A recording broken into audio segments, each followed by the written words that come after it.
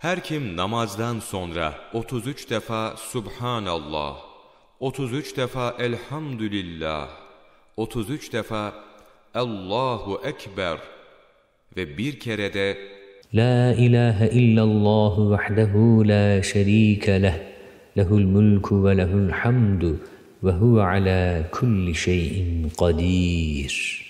Allah'tan başka hiçbir ilah yoktur. Onun hiçbir ortağı yoktur. Mülk O'nundur. Hamd O'na mahsustur. Her şeye kudreti yeten O'dur.